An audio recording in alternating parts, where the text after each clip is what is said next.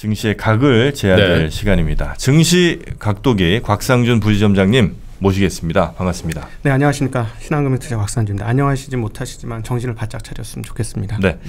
그래서 우리 어, 혹시 힘들어하실 어, 곽 부점장님, 곽도기님을 위해서 우리 운조 커피에서 아, 사장님이 얼마나 급하시면 커피를 급하게 보내드렸어요. 보내셨어요. 네, 요 아, 커피 예. 감사합니다. 맛있는 커피 한 분. 네, 아침마다. 운조, 운조 커피 아주 맛있죠. 저런 네. 거한한 일곱 여덟 개 들었는데 덩치가 네. 커서 저거 하나만 보여드린 거죠. 예, 섞여 있어요. 약간 그 껌껌한 맛과 약간 신맛 고루고루 음. 있어서 참 좋아요. 얘가 네. 체포 같은 거는 신맛 아주 부드럽게 잘 만. 오천 명 이상 들어오셨는데 곽 부장 표정 보러 들어오신 분이 지금 무서야지. 한 만 명 되시는 것 같아요. 어떤 표정이 나오나. 음, 좋은 뉴스, 야, 나쁜 뉴스를 전해드리도록 하겠습니다. 예. 아, 네. good news랑 bad news가 섞여 네, 있습니까? 첫 번째 그 10년 10년물 국채 금리부터 한번 보여주시죠. 10년물 네. 국채 금리 일주일짜리 보여주실 수 있을까요? 네, 10년물 어, 국채. 일봉 보여주셔도 되고요. 네. 일단 보여주.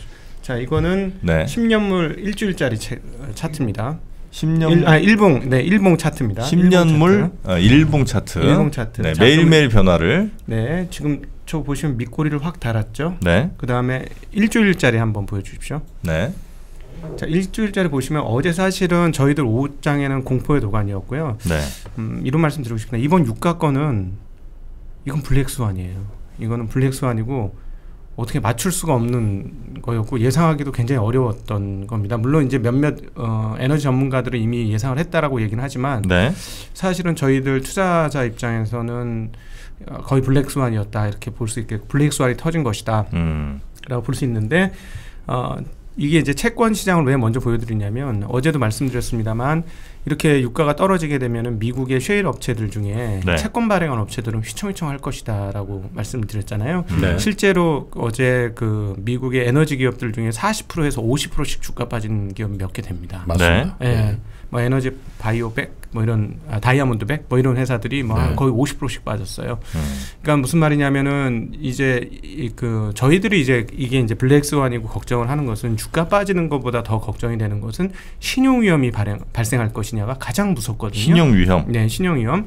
아, 실제로 그 high yield 펀드 또는 high yield 채권 이게 근데 약간 시차가 좀 뒤늦게 나와요. 지금 그 FED 그 사이트를 보면 나오거든요. BB 네. 채권, B 채권, CCC 채권 이런 것들 시험 보면 등급 기준이에요. 예. 이 채권들의 가격이 급 그 이렇게 금 그 뭐야 채권 금리가 급등을 했었죠. 네. 음. 급등을 했다가 살짝 빠졌는데 이게 지금 며칠 전 얘기예요. 네. 그래서 지금쯤 되면 다시 급등을 하지 않았을까 음. 싶습니다. 그러니까 그 위험 한 기업들, 그러니까 간당간당한 기업들의 그 신용도가 흔들리면서 크레딧 리스크가 커지느냐 이게 사실 저희들 입장에서 가장 지금 현재 제 상황에서는 우려되는 부분이거든요. 네. 음. 그래서 채권 시장을 참 어제 그 막판에 어느 네. 정도 떨어졌었냐면 어, 지금도 믿기지가 않는데 10년물이 0.3%대까지 어. 떨어졌어요. 음. 10년물이. 국채 10년. 예, 국채 10년이. 이럴 수 혹시 있을까요? 정도. 그 하이힐드 뭐 얘기하실 때 네. 어, 회사채 금리가 이렇게 높아지는 거는 네. 그 회사들이 야 니네는 지금 회사 보니까 안 되겠어 그래 불안해갖고 얘네한테 안 빌려주는 거 안 빌려주니까 높아지는 거야 아니면 투자하는 사람들이 야 지금은 돈 빌려줄 때가 아닌 것 같아 그래서 돈을 잘 안 빌려주려고 해서 금리가 높아지는 거예요. 똑같은 얘기잖아요. 예, 둘 다인데요. 네. 아니 그러니까 예를 들어 회사 네. 자체가 네. 영업을 못 하거나 회사 자체가 좀 별로 안 좋은 회사인 것 같아서 네. 이 회사에 돈을 안 빌려줄 수도 있고 네. 아니면 그냥 본인이 내 투자하는 사람이 나는 돈이 한 10억 있는데 아 이 채권 쪽으로는 안 가고 차라리 다른 걸 할래 이래 갖고 이제 그 채권 시장에 안 들어갈 수도 있는 거 아닙니까? 아, 첫 번째 게 맞는 게 네. 왜냐하면은 두 번째 거는 투자자들은 지금 미국 국채 시장에서 난리가 난 거죠. 못 사서 난리가 난 거예요. 다 그걸 사고 싶어 가지고 안달이 났어요. 국채 시장에서는. 아 국채는 네, 그러니까 네. 안전자산에 대한 강력한 선호 현상이 나타났던 거죠. 그러니까 미국 국채는 문제가 없고 안전하니 네. 투자자들은 다 그쪽으로 쏠린 것이고요. 아 내가 10억 있으면 예전에는 회사채도 한뭐 그렇죠. 5억 샀는데 어, 이제는 어. 무조건 국채만 사겠다. 국채만 산다 이렇게 네. 되는 거고요. 지금 하이힐드 쪽이 안 좋았던 것은 예를 들자면 얘네 이런 식으로 영업하면 6개월 뒤에 만기되는 채권 갚을 수 있을까? 다 적자가 나는데 음. 네, 그러니까 이제 그쪽은 못하겠다 이렇게 네. 되면서 채권 네. 가, 금리가 빵 오르면서 채권 가격이 음. 훅 떨어진 것이죠. 아, 네. 그래서 네. 이 부분에 대한 염려를 굉장히 많이 했고 어제 장 시작하기 전에 이미 그 한국 오후에서는 미국제 10년물이 0.3%대를 받기 때문에 이게 도대체 무슨 일인가 음. 어, 하면서 어, 있었는데 오늘 이렇게 마감된 걸 보면 그 밑꼬리를 달면서 조금 올라왔다는 거. 음. 이거는 좋은 뉴스고요. 네. 반면 나쁜 뉴스. 어, 7% 하락하면서 시작을 했었잖아요. 그 음. 그러면 서킷 브레이크가 걸렸어요. 네. 어, 97년 10월 이후 처음입니다. 음. 네. 그때 97년 10월을 PA 월요일이라고 부르더라고요. 네. 아마 그때가 저희 그 아시아 외환위기 났을 때인 것 같아요. 저희가 음. 11월 달에 외환위기 발생했잖아요. 97년 10, 네. 11월에. 그러니까 그때 이제 먼저 폭락을 했고 이제 어, 그런 상황 어, 하여튼 그랬는데 보통은 이제 이렇게 해서 채권 가격도 이렇게 됐으면 시장도 올라서 끝났어야 됐을 것 같아요. 음. 4시 반까지는 반등을 좀 했어요. 한 바닥에서부터 2, 3% 정도. 네. 하다가 근데 막판에 다시 떨어지면서 종가가 거의 저점 부근에서 끝났다는 건 나, 아, 나쁜 소식입니다. 네. 반면에 이제 어, 또 다른 좋은 소식 하나를 또 말씀을 드리면 그 차트 한번 보여주죠. 연준의 총자산 말씀. 연준의 총 자산. 연준의 총자산이 움직일 거야. 이렇게 되면 대응을 할 거야. 가서, 항상 아. 말씀드리지만 경제는 대응의 영역이니까 네. 뭐 정물화가 아니라 동영상이니까 할 것 같아라고 다 봤는데 3월 4일자 기준입니다. 어, 보시면 갑자기 좀 늘었죠. 4.15조에서 4.24로 조금 큰 폭의 증가세를 했습니다. 저기 3월 4일이요? 아까 3월 4일. 네, 3월 4일. 3월 4일 기준이라고. 네, 3월 4일 기준으로 네. 일주일 뒤에 3월 11일 그러니까 이제 내일자가 조금 있으면 나오겠죠. 네. 어 그러면 이제 현재 분위기로 봐서는 총자산을 더 늘릴 것 같고 음. 실제로 연준 관련된 이야기는 저거 절대로 안 늘리겠다 그랬거든요. 음. 레포 절대 공급 안 해주겠다고 했는데 음. 지금 늘리고 있고 실제로 발언도 늘리고 있다고 나오고 있습니다. 그러면 저걸 조금 더 늘릴 것이다라고 보여지는 거죠. 네. 네, 그러면 그 연준이 사실 지금 상황에서 금리를 더 내리는 것이 과연 효과적일 것이냐는 굉장히 의문이에요. 네. 어, 그 이미 50bp를 내렸는데 시장에 하나도 반영이 못 되면서 음. 그냥 어, 이번 거는 제대로 쓴 거 아니고 헛방망이질 한 거 아닌가 할 정도로 느낌이 오는데 그럼 결국 다음 거는 어, 양적 완화일 가능성이 높은 높다 이렇게 음. 추정할 수 있었던 상황에서 실제로 레포 시장에서의 자금 공급이 상당히 늘어났다라는 건 네. 그런 식으로 대응을 하고 있다. 아, 이렇게 어, 볼수 있겠습니다. 그래서 그렇군요. 좋은 뉴스, 나쁜 뉴스, 좋은 뉴스 뭐 이렇게 섞 여서 있는 음. 상황이고 음, 그 다음에 이제 그 아까 이제 종가가 저점으로 떨어졌을 때 나쁜 뉴스 중에 하나 는 뭐냐면 아, 트럼프가 공화당 당원과 악수를 했는데 아하. 그 공화당 당원이 확진자가 접촉했다. 네, 네. 당원이 아니고 congressman, 저 의- 의원이에요. 아, 의원이에요? 의원이고 네. 악수한 정도가 아니라 네. 캠프 데이비드도 같이 저 뭐죠? 그 리조트에도 같이 있었고 그 네. 차에도 같이 동승했어요. 네. 네, 그 그래서 정도가 아니니까. 네, 그래서 음, 그런 것도 시장의 막 악재로 좀 반영이 음. 되었습니다. 그것도 악재군요. 왜냐면 이제 네. 저- 아, 대통령이 만약에 걸리게 되면 이건 심각한 문제니까. 아. 아니 트럼프도 고령자잖아 지금. 네. 음, 고위험군에 속하, 속하는군요. 네. 그리고 한국은 이제 뭐 다 아시다시피 조금 꺾기 시작했고 이 흐름의 궤적은 거의 똑같습니다. 한 달 반 정도의 시간 속에서 크게 올랐다 크게 떨어지는 과정이고 미국 같은 경우는 지금 오르막의 과정 이다라고 음. 보시면 되겠고 네. 아직 정점까지는 안 간 상황이다. 이렇게 어, 미국의 그것들은 정리해 보시면 되겠는데 사실은 어, 어제 오늘 장은 코로나는 사실 눈에 안 들어오고 음. 유가 하락과 그에 따른 파급 효과가 어떻게 될 것이냐 네. 이게 굉장히 큰 건데 단기적으로 이 어, 신용 리스크를 어떻게 견딜 수 있는지가 가장 중요한 것 같습니다. 이 음. 부분을 잘 견디고 나면 어제도 말씀드렸던 부분은 원가율 하락이라서 기업 입장에서는 중장기적으로 나쁠 건 없어요. 음. 근데 이제 지금 당장 문제는 뭐냐면 에너지 기업들의 도산에 의해서 연쇄적인 도미노 현상이 나타나면 그건 진짜 골 때리고 어려워지는 거고 네. 그리고 또 하나 이제 지금 어제 채권 시장 지금도 뭐 이 정도 금리 마찬가지인데 채권 시장은 거의 침체에 베팅을 하기 시작하고 있는 거예요. 음. 그래서 지금은 침체냐 반등이냐의 기로에 서 있는 음. 상황이다라고 볼수 있습니다. 그래서 어떤 대응들이 분명히 어떤 식으로든지 대응은 나올 가능성이 있겠고 그 대응이 시장에 어떻게 먹힐 것인지가 이번 주와 다음 주에 상당히 중요한 이슈가 되겠다라고 네. 정리해 볼 수 있겠습니다. 어제 미국의 미국 시장 정리해 보죠. 예, 하나씩 살펴보죠. 어, 굉장히 큰 폭으로 하락을 했습니다. 그 방송한 이래로 가장 큰 폭의 하락이었 다고 보여지고요. 네. 어, 뭐 다우 7.79% 하락, S&P도 7.60, 어, 나스닥도 7.29% 하락이고 러셀리처는 음, 뭐 소형주는 더 많이 떨어졌습니다. 8.9%대. 유럽 시장도 뭐 아주 아수라장이었는데요. 네. 유로스탁스가 8.45%나 빠졌고 영국 7.69, 프랑스 8.39, 독일도 7.94%나 하락을 했습니다. 음. 금리가 계속 하락을 하게 되자 달러 가격이 떨어졌는데요. 달러 가격이 떨어지니 유로와 엔화는 강세를 보여주었습니다. 음. 달러는 95대까지 95 초반까지 떨어졌고요. 유로 달러는 1.145까지 급등을 했습니다. 그리고 엔화도 102.14로 가치가 상당히 큰 폭으로 올랐죠. 109엔 하던 게 100이니까 거의 한 7% 정도 강세가 네. 단기간에 이렇게 이루어졌습니다. 음. 원화 같은 경우는 어제 약세로 돌아선 이후 그 자리고요. 예. 음, 한국의 그 원화만 봐서는 뭐 신용 리스크나 이런 것까지는 볼 수는 없을 때, 아, 그 달러의 강, 약세를 반영하지는 아직은 못하고 있다. 음. 이렇게 정리해 보시면 되겠습니다. 1,200원이니까 어, 지난번에 달러 약세를 반영할 땐 1,180원 그리고 그 언더까지 보여줬던 상황이니까 그렇게 내려간다면 아 이게 한국에 대한 리스크를 환에서는 조금 해지가 되는 거 좀 불안한 마음이 잠잠해지는 거구나 이렇게 네. 읽으시면 돼요. 원화를 통해서 그렇게 읽으시면 될 것 같고 위안화는 6.949 이것도 한국과 비슷한 상황으로 진행이 되고 있고요. 미국 금리물은 지금 뭐 그 인베스트닷컴에서 보는 거하고 조금 다를 텐데 어제 말씀드렸던 시점과의 금리 차이입니다.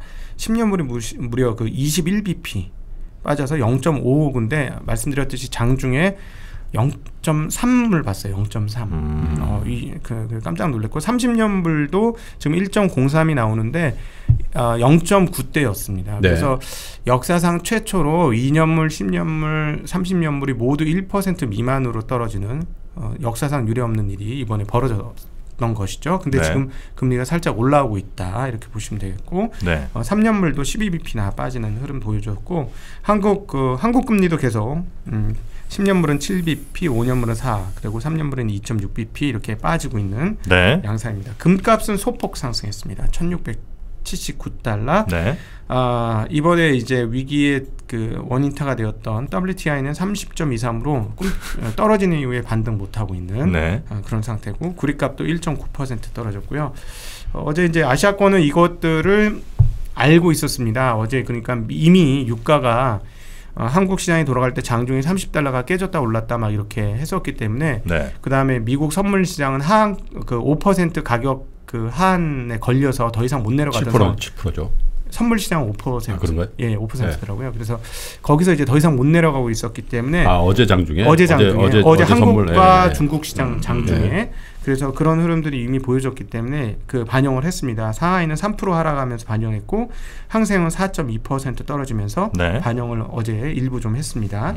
어제 보베스파는 무려 12%나 빠졌어요. 음. 12%. 네. 국가 지수가 12% 빠졌고 빠질 중앙에서 계속 환 시장에 개입을 하는데도 지금 약발이 안 먹히고 있어요. 네. 필라델피아 반도체는 8.3%, 나스닥은 6.8% 떨어졌는데 어, 보시면 그 JP 모간이 13.5%, 그다음에 엑슨모빌이 12%.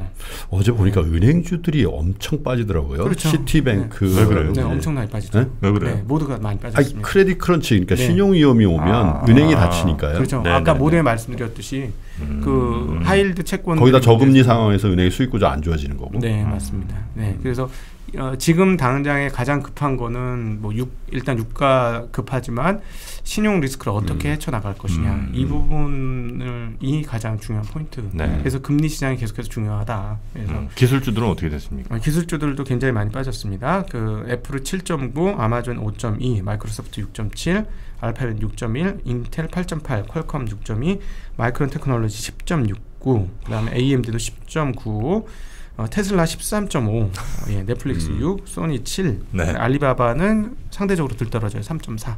어, 이렇게 어. 기술주들도 다들 큰 폭의 하락을 했는데 어쨌든 네. 어제는 음, 은행주하고 그다음에 에너지주들이 음. 어마무시한 폭락을 하면서 시장 하락을 이끌었습니다. 네. 그러니까 그 에너지주 쪽은 거의 업종 지수가 20.08%나 빠졌어요.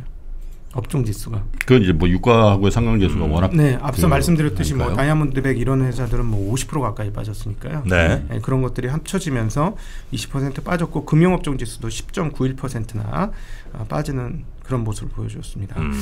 그 하여튼 그 유가도 91년 걸프 전쟁 이후 하루 하락폭으로 가장 큰 아. 하락세를 기록을 했고 네. 어제도 말씀드렸다시피 지금 상황들을 과거 그 다섯 번의 그, 그 평균 10거래일 평균 대비 어, 이 편차를 3% 이상 편차를 하는 큰 폭의 하락을 기록한 게 과거 다섯 번이었는데 이번에 여섯 번인데 이번에 이렇게 더 커진 음, 거고요. 미국 네. 시장에서 훨씬 커진 거고 규모도 이제 가공할 수준으로 지금 많이 빠진 겁니다. 네. 그러니까 이제 87년도 그 정말 그 뭐죠 증시 대폭락했을 때 그 이제 그거 정도밖에 없을 정도로 하락폭이 이제 커지고 있는 상황이에요. 음. 그 정도로 많이 커진 상황이라서 네. 저희 곽현수 연구원은 어 40거래일에서 60거래일 정도, 즉 두 달에서 석 달 정도 어 지나가니 어 일부 원상 회복을 하더라. 음. 라는 전망을 어제 했었습니다. 예. 근데 이제 그 어제 얘기했을 때는 이 팬데믹 얘기만 한 거고요. 네. 코로나 바이러스 얘기를 한 거고 이번에는 이제 유가까지 진짜 블랙스완으로 터진 부분이라서 음. 어, 그 부분이 반영되면 대선 어떻게 해석해야 될지는 조금 더 네. 생각을 해봐야 되는데 어찌 되었건 그런 정도의 굉장히 큰 낙폭이라는 거는 네. 우리가 또 더불어서 음. 기억할 필요가 있을 것 같습니다. 참고로 지금 뉴스 하나가 아까 저희가 공매도 관련해서 뉴스를 뭐 속보로 좀 전해드리긴 했었는데 예. 결국 발표가 좀 나왔네요. 그 공매도 과열 종목 지정 제도를 네, 금지가 아니군요. 예, 강화해서 제가 말씀드린 것처럼 됐네요. 네. 그래서 예. 3개월간 공매도 과열 종목 지정 요건을 완화하고 거래 금지 기간을 확대할 네. 거다 이렇게 예. 하는데 그게 내일부터랍니다. 11일. 네. 네, 11일부터 음. 공매도 거래 일부 제한이 좀 될 것 같습니다. 뭐 이 정도가 한계라고 생각해야 되겠네요. 네. 이 정도가 할 수 있는 한계인 네. 것 같다. 자, 그럼 뭐 네, 어떻게 어, 하여튼 뭐 네, 어제 4% 하락은 오늘 미국 시장 빠질 거를 감안한 4% 하락이었고 우리가 먼저 빠진 거죠. 네, 미, 중국도 그렇고 음, 그거 까지는 기억을 좀 하시는 게 좋을 것 같습니다. 현재 어쨌든 미국 선물 시장은 에, 상승세를 보이고 있네요. 나스닥 기준으로 1.5%간 네. 뭐 다우지수 다 마찬가지고요. 네, 우리 시장 개장 전에 열리는 에, 호주의 AX 지수 같은 경우도 장중에 에, 개장 초에 한 2% 이상 마이너스 시작했다가 지금은 0.몇 퍼센트 마이너스로 다시 좀 올리고 있는 네, 네. 그런 어제 상황이 어제 이미 오후에 한국 시장의. 공포감은 극에 달했던 시장이었어요. 예, 나이맥스 WTI도 2% 중반의 상승세 어쨌든 어제 네. 종가 기준으로는 그렇게 에, 오늘 아침에 에, 지수와 에, 가격은 다소 어제 패닉 상태에서 물론 이제 어제 패닉이 워낙 강했기 때문에 그 상태에서 조금은 에, 회복을 하고 있다는 에, 그런 에, 뉴스가 전해지고 있습니다. 네. 자, 그럼 오늘은 우리 곽도인님과 이 정도로 정리하도록 하겠습니다. 함께 해주신 우리 신한금융그룹 신한금융투자의 곽상준 부지점장님. 네, 힘내십시오. 네, 예, 네, 고맙습니다. 네, 감사합니다. 네.